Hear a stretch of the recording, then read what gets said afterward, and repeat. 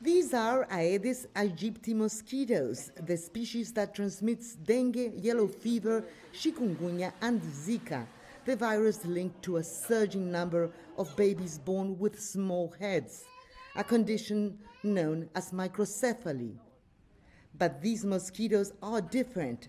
They carry a bacteria called Wolbachia pipientis, which inhibits their ability to spread the viruses. Scientists released these good mosquitoes in Brazil as part of a successful international program called Eliminate Dengue. Dr. Luciano Moreira from Brazil's Oswaldo Cruz Foundation introduced the method to Brazil. He's the senior author of a study that shows that the bacteria also makes the mosquitoes incapable of transmitting Zika. Tivemos acesso a dois isolados de Zika. We had access to mosquitoes with Zika. If Wolbachia could block the Zika virus and the results were positive, mosquitoes with Wolbachia do block the Zika virus. Here in Niterói, to the north of Rio, a trial was carried out in 2015.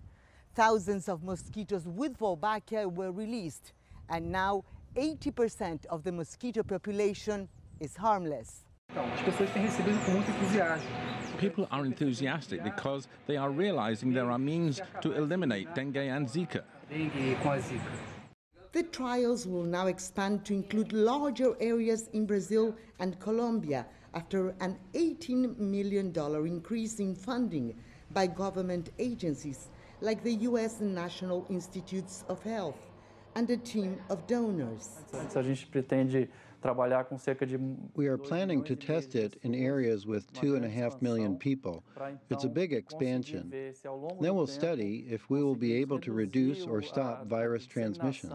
The plan is to release a swarm of these good mosquitoes early next year. Scientists expect them to help win a global public health battle, mainly against the Zika virus, which, according to the WHO, has now spread to 73 countries. Lucrecia Franco, CCTV, Rio de Janeiro.